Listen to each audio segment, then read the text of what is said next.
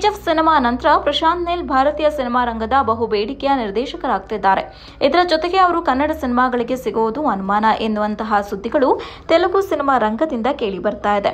ಸಿಕ್ಕಿರುವ ಮಾಹಿತಿ ಪ್ರಕಾರ ಅವರು ಇನ್ನೂ ಆರೇಳು ವರ್ಷಗಳ ಕಾಲ ಕನ್ನಡ ಸಿನಿಮಾವನ್ನೇ ಮಾಡೋದಿಲ್ಲ ಎನ್ನುವುದು ಆಘಾತಕಾರಿ ಬೆಳವಣಿಗೆ. ತೆಲುಗಿನ ಸಲಾರ್ ಸಿನಿಮಾಗೆ ಪ್ರಶಾಂತ್ ನೀಲ್ ಆಕ್ಷನ್ ಕಟ್ ಹೇಳ್ತಿದ್ದಾರೆ. ಈ ಚಿತ್ರಕ್ಕೆ ಪ್ರಭಾಸ್ ನಾಯಕನಾದ್ರೆ ಕನ್ನಡದ್ದೇ ಆದ ಹೊಂಬಾಳೆ ಫಿಲ್ಮ್ಸ್ ಈ ಚಿತ್ರವನ್ನ ನಿರ್ಮಾಣ ಮಾಡ್ತಾ ಇದೆ. ಅಷ್ಟರ ಮಟ್ಟಿಗೆ ಪ್ರಶಾಂತ್ ನೀಲ್ ಕನ್ನಡದವರೊಂದಿಗೆ ಕೆಲಸ ಮಾಡ್ತಿದ್ದಾರೆ. ಈ ಸಿನಿಮಾ ಮುಗಿತಾ ಇದ್ದಂತೆಯೇ ಜೂನಿಯರ್ ಎನ್ಗಾಗಿ ಪ್ರಶಾಂತ್ ನೀಲ್ ಚಿತ್ರ ಮಾಡಲಿದ್ದಾರೆ.